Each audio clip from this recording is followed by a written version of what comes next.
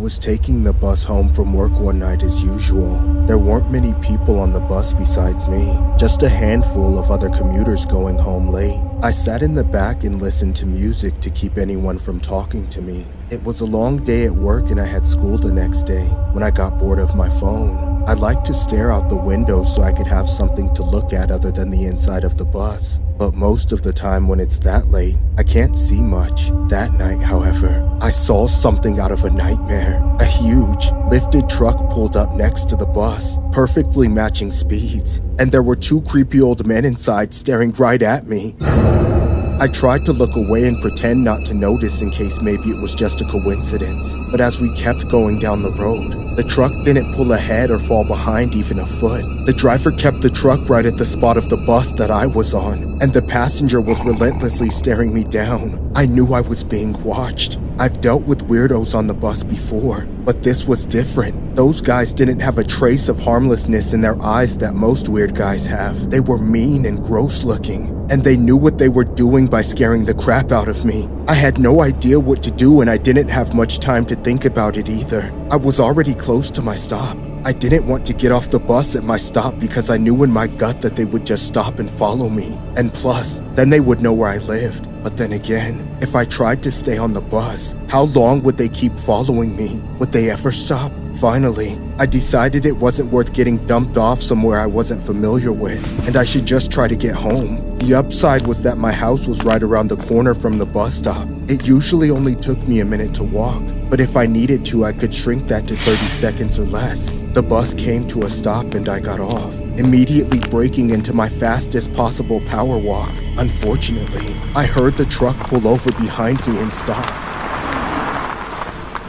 Another shot of adrenaline coursed through me and I managed to walk even faster. A moment later, I heard the doors opened and shut, followed by footsteps. It sounded like big 200 pound men in boots marching to get me, closer and closer until it was right behind me. Before I knew it, I was at the front door to my house. I punched the code in faster than I have in my life and opened the door, stepped inside, then quickly turned around and shut the door behind me.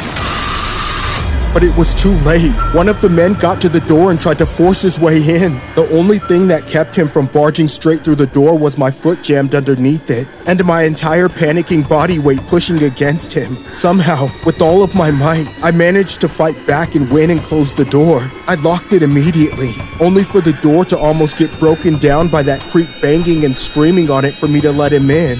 Open the door! Open it or I'll let myself in! Get! Or what? You don't stand a chance against the both of us. Leave me alone or I'm calling the cops!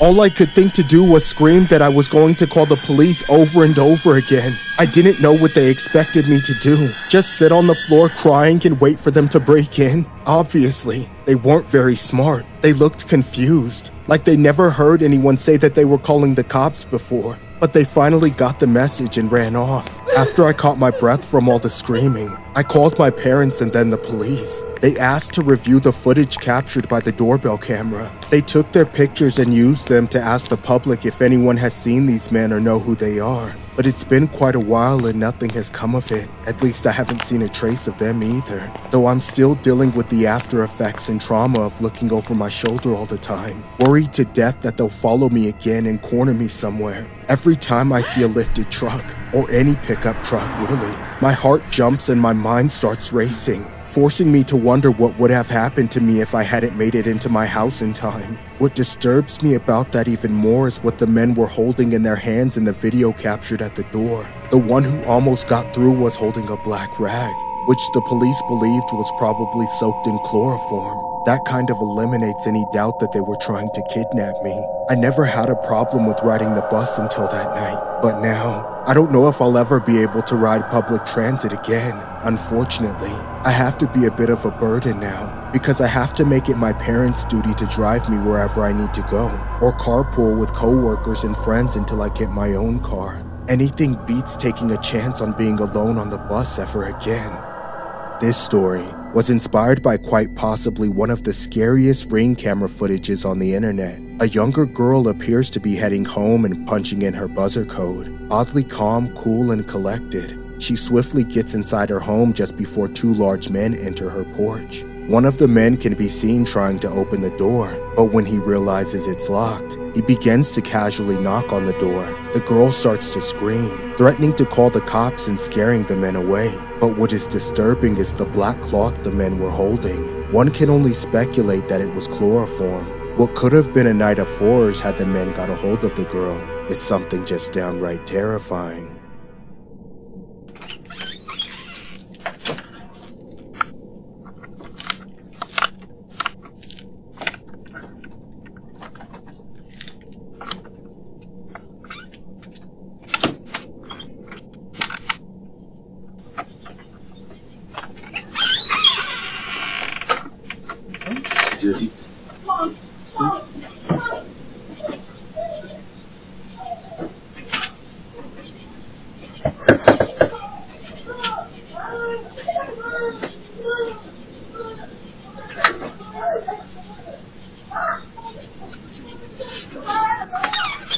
What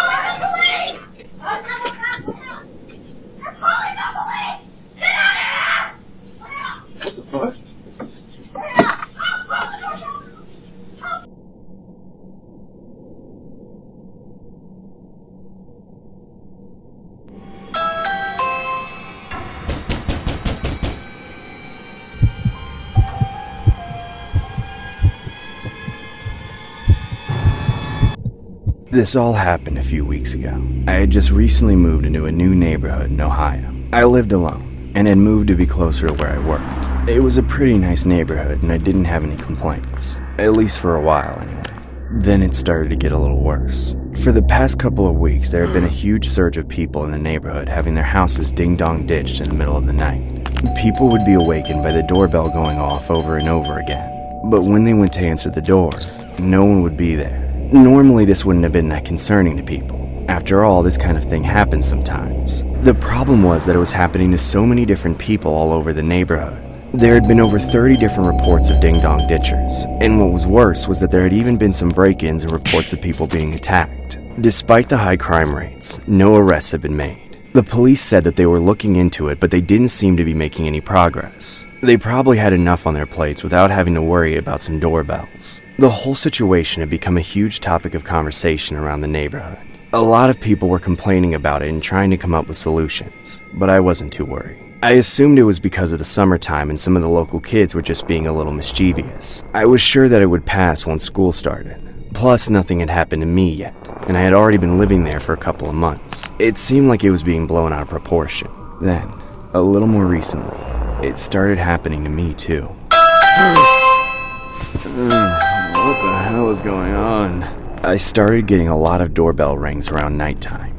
At first, it was just once or twice a week, but then it started happening at least two or three times every other day, and it was always around two or three in the morning.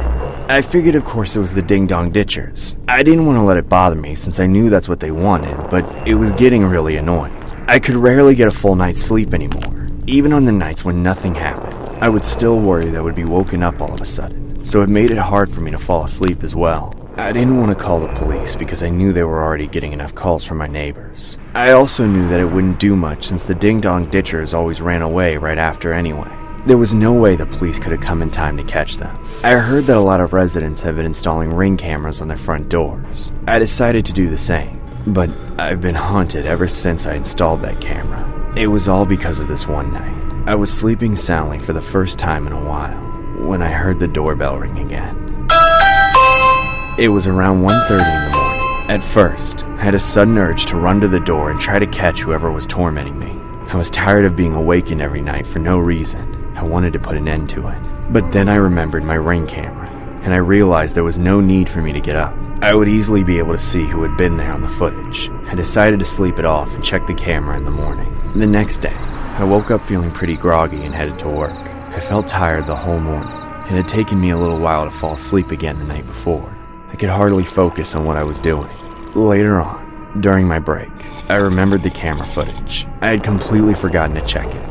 I brought it up on my phone and started scrolling the footage. That's when I saw something disturbing.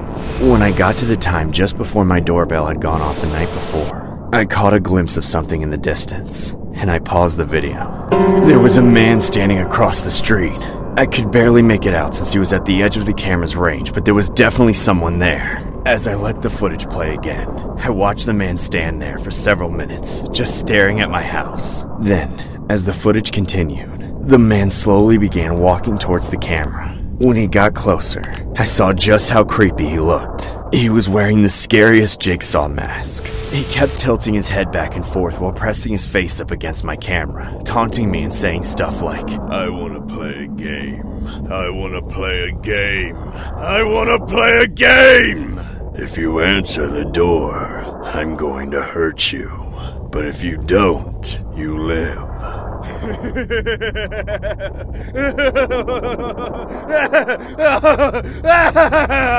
he then started laughing like a deranged psycho.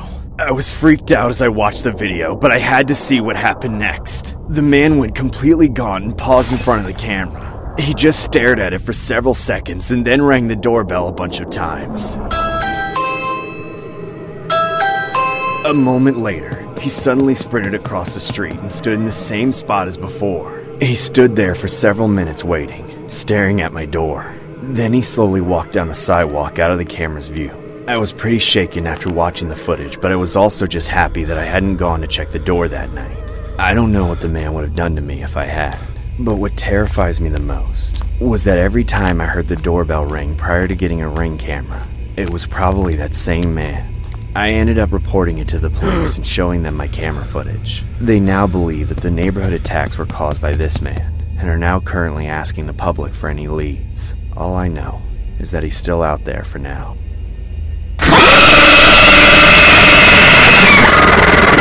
This story was inspired by disturbing ring camera footage that was taken in the summer of 2023. It happened when there was a high surge in cases where people would hear their doorbell ring in the middle of the night. But one resident just so happened to capture something disturbing on their ring camera footage. It was a video of a masked man ringing his doorbell, then immediately running across the street just to stand and watch the house. The resident immediately disclosed it to police and incurred that it happened just after 1:30 a.m. on August 26. After the footage was posted online, multiple residents from the same neighborhood claimed to have seen some other suspicious activity, such as possible thefts. Police are currently working to figure out who the masked man is and why he was there. Well, as you know, almost every homeowner has video surveillance of some kind these days. One Bowling Green homeowner says he woke up to an unsettling sight on his camera, and now police are involved. 13 Action News reporter Megan Daniels joins us with the story all new at 6. One man says he woke up to the sound of his doorbell ringing, and when he went downstairs to check it out, the sight was unsettling. Take a look at your screen. This is the doorbell footage of an unidentified masked man who rang one homeowner's doorbell, then ran to the street. It may look like he ran away, but if you take a closer look, you can see the masked man just standing there facing the home. Kind of just stared at the homeowner before, uh, then eventually fleeing. This uncomfortable encounter happened just after 1:30 Sunday morning on Champaign Avenue. Police say when they posted it to Facebook, neighbors sounded off. When we posted on Facebook, obviously um, people made comments, and it appeared that other people in the neighborhood indicated that maybe they had seen some other suspicious uh, activity in the neighborhood and were concerned about possible thefts. Right now, police are trying to figure out who the man is and why he was there. Uh, whether this was just a harmless person ringing the doorbell to uh, try to mess mess with somebody or freak somebody out, or whether there are more sinister things going on, we don't know, unfortunately. If you have any information on this incident or the masked man, police are asking you to call Crime Stoppers.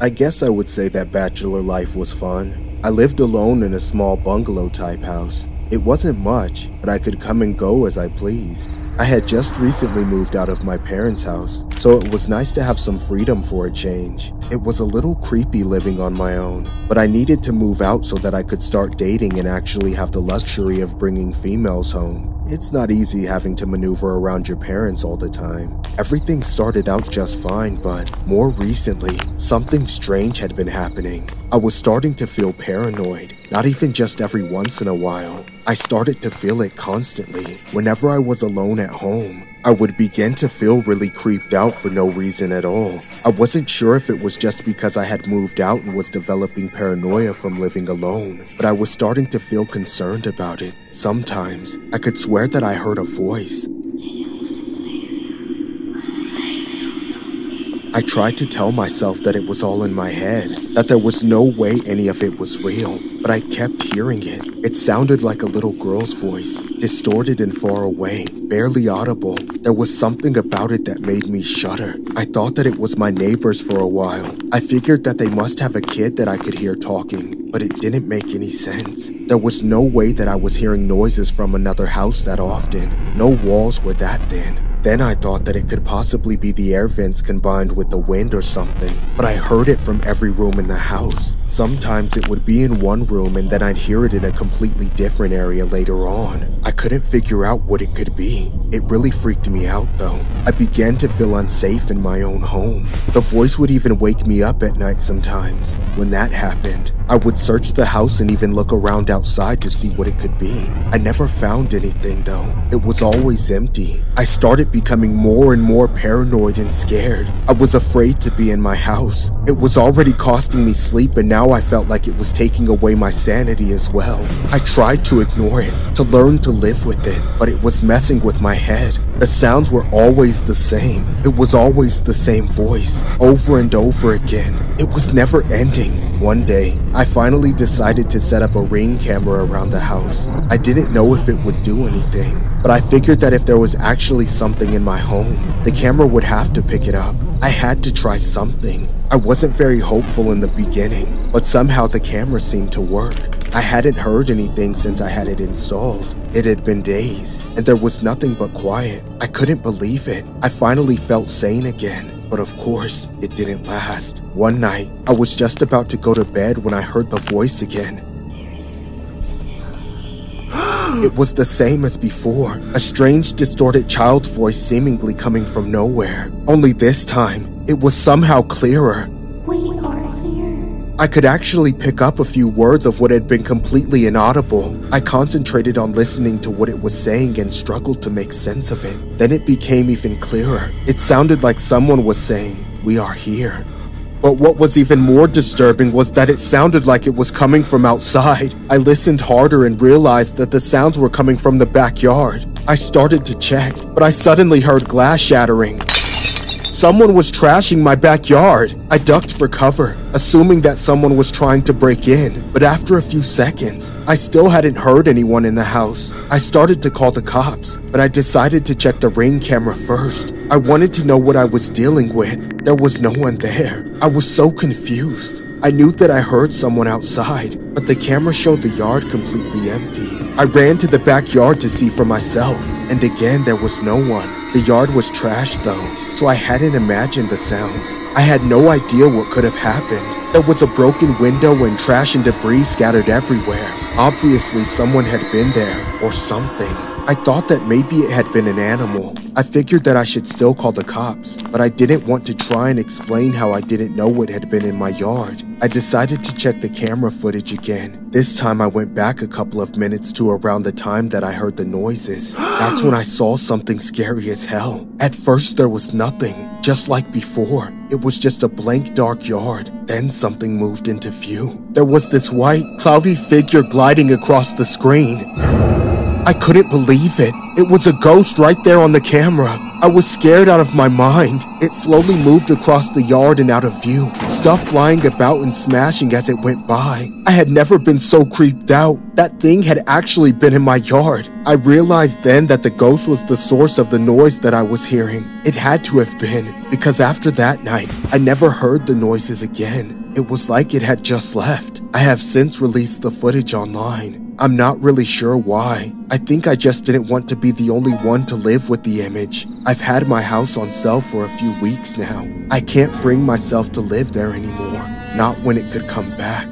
This story was inspired by a ring camera video that has been circulating and going viral on social media. The video showcases footage of what appears to be a seemingly normal backyard, but what comes next is something truly bizarre. Towards the left side of the camera, A ghost or spirit or entity of some sort flies across the owner's hammock and towards the right side of the backyard. What makes this even more horrifying was how it was alleged that the owner of the ring camera footage claims that he would hear a little girl's voice every night saying, quote unquote, We are here. There was no other way to describe this other than downright disturbing.